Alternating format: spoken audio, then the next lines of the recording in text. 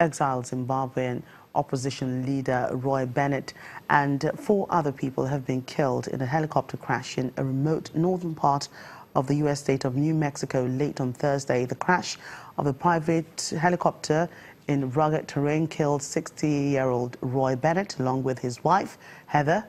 A former treasurer general of the main opposition party, the MDC, was, on an important, was an important figure in Zimbabwean politics and served time in prison under former President Robert Mugabe. A statement from the MDC reveals Roy was a resolute and committed fighter for democratic change in Zimbabwe, a charismatic grassroots politician and a successful farmer in the country's eastern uh, district. He was fluent in Zimbabwe's Shona language and had helped hundreds of impoverished villagers uh, pay school fees for their children. Bennett had the nickname Pachedu, a Shona word that uh, translates as together. Although he was white, he fought for the rights of black Zimbabweans and was one with the blacks.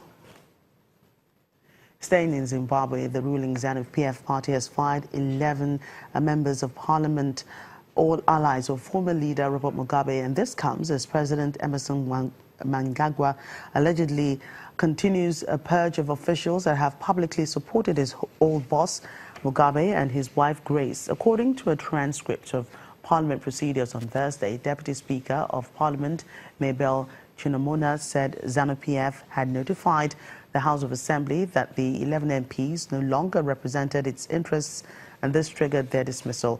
Some of the legislators were cabinet ministers in Mugabe's government.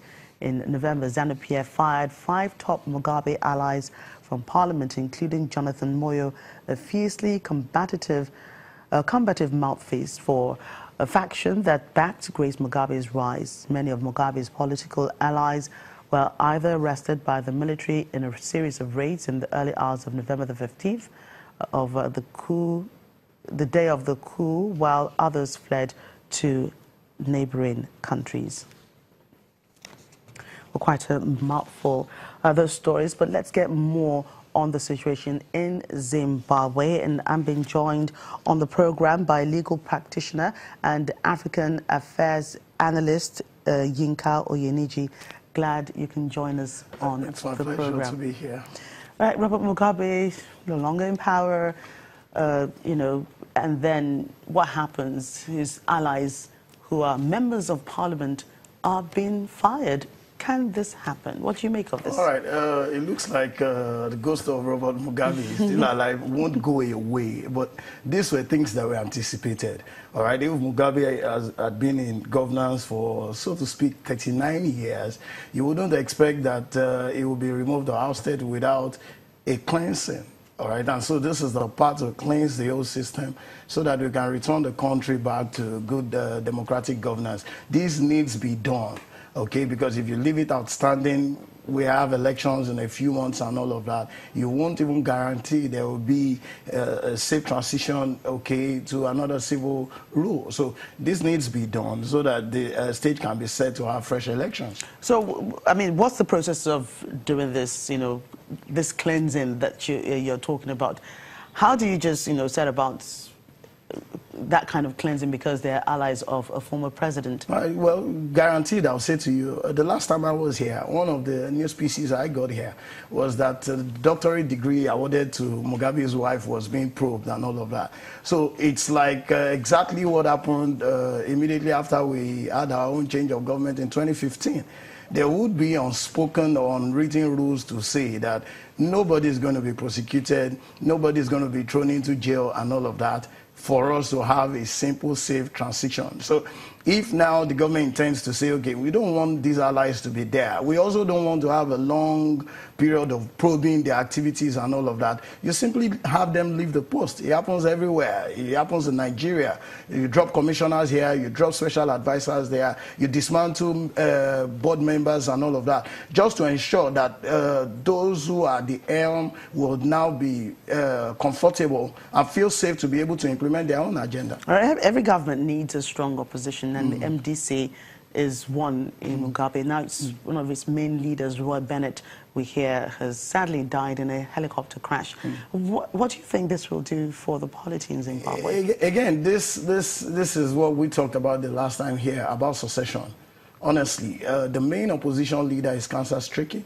All right, and this is another uh, juggernaut uh, of them all who has uh, unfortunately died. Our condolences to them and to all those who passed in recent times. Even we have our own issues in Nigeria with respect to deaths. However, because this succession thing had been in move before now, it won't necessarily affect a lot.